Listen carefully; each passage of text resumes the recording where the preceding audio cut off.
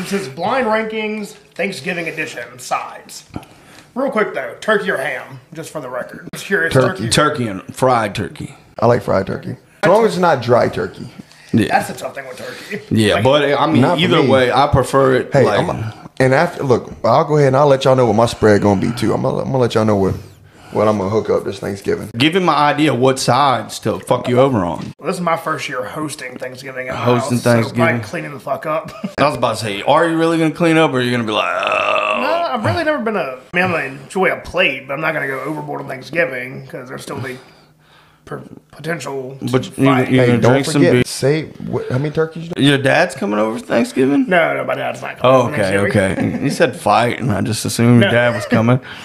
One of my favorite things to do after Thanksgiving is to pick the turkey, pick all the meat off the turkey bones, turkey gumbo. You gonna bring that on the That's